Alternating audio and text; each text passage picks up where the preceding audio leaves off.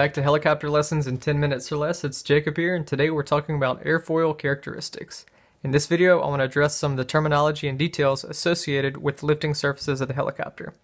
Now, Shawn Coyle in his book, Cyclic and Collective, gave a really good definition of what an airfoil is. He says that it's a surface that produces more lift than drag at a suitable angle.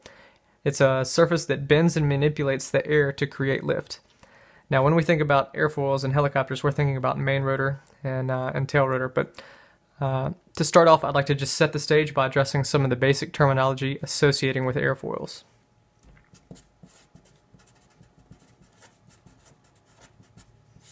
Now, first up, we just have the blade span. Now, blade span, this is the length from the point of rotation, or the hub, to the tip.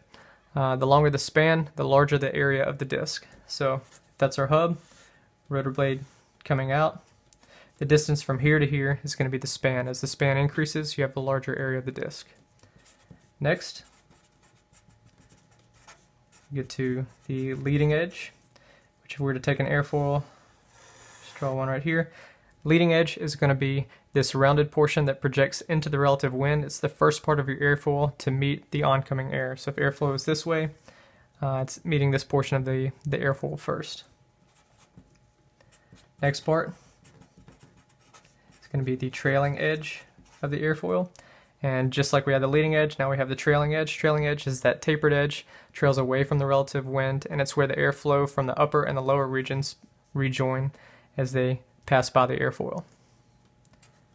Next up, we'll have the chord line. And the chord line is just going to be an imaginary line that goes from the leading edge to the trailing edge. So just right there through the middle. And this is uh, important because it's the reference point that we use for angles of attack and angles of incidence. Next up, it's going to be the camber, and this is just referring to the curvature of the airfoil itself. We can have the upper camber and the lower camber. Next, we have the main camber line. Now the main camber line is the line midway between the upper and the lower surfaces. In this airfoil right here, there's not much of a difference between that and the chord line, and that's because this one right here is a symmetric airfoil. Uh, if we have a symmetric, it goes to say we probably have an asymmetric or a non-symmetric as well. And if you made that assumption, you'd be right. So an asymmetric airfoil is not symmetric. It means it's not equivalent uh, cambers on the upper and lower portion of the blade. So you're going to have a blade that looks something like this. So uh, whereas this had a equal upper and lower camber. Now if I were to draw the chord line through the leading, leading and the trailing edge, you're going to see an increased uh, upper camber compared to the lower camber. And our main camber line is actually going to deviate just slightly from the chord line as it follows the midpoint of the camber through the blade.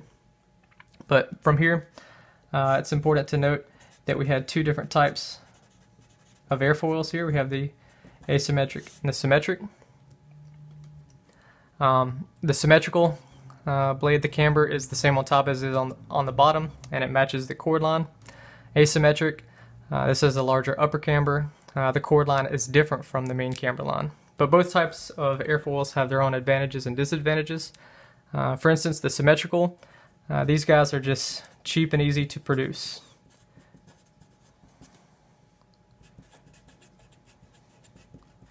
They're relatively uh, simple by design. Uh, these were the products of earlier helicopters when they first came out. They're uh, typically made of very uh, heavy and sturdy materials. So these airfoils are very uh, heavy, sturdy, and uh, very stable as well. Um, but as technology increased, composite materials improved, asymmetric airfoils began showing up.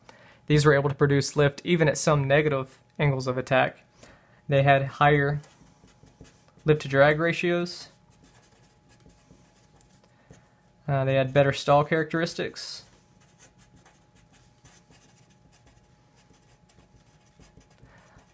However, um, one downside is that as pressure changes differently around the airfoil, uh, the center of pressure or the um, the concentration of the aerodynamic forces was shifting or shifts up and down the chord line and asymmetric um, airfoils, which causes blade flapping, leading, and lagging to do uh, or to happen at a greater degree. So One downside just being that it has excessive center of pressure travel. But all said, uh, they generally are more prevalent today just because they have higher lift to drag ratios. They produce more lift than a symmetric airfoil. But keep in mind that helicopters typically don't uh, have, or they're not just limited to these types of airfoils. If you look around the helicopter, you actually find a few more. Uh, so we'll identify some of those other airfoils here. So part of on pre-flight, you walk around and you see towards the tail rotor, you see this vertical fin right here, or the vertical stabilizer. Now the vertical stabilizer, this helps add directional stability in forward flight. Some are even cambered just like an airfoil to offset or offload the tail rotor above certain airspeeds as you uh, as you fly. Also on pre-flight you may find that you have these horizontal stabilizers. They look like wings as well. Sometimes they're mounted here on the tail boom, sometimes they're mounted in the vicinity of the tail rotor itself, but these um, help hold the fuselage level in forward flight. They counter the nose down tendency by pushing the nose up. In essence, they're pushing the tail down, which pivots the nose up, and it keeps you from having to stand on your pedals when you're uh, flying fast through the air. It keeps the helicopter level.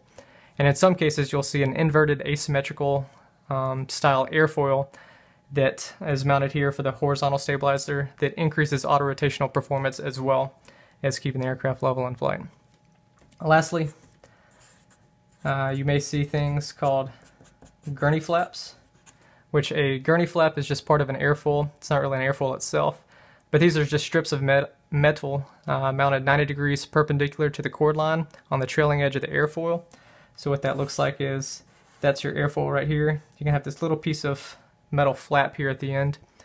Um, and these were discovered in auto racing by Dan Gurney and later brought into aviation. But what they do, uh, simply, or in all simplicity, is just they increase the lift to drag ratio of an already existing airfoil by improving the boundary layer flow across that airfoil.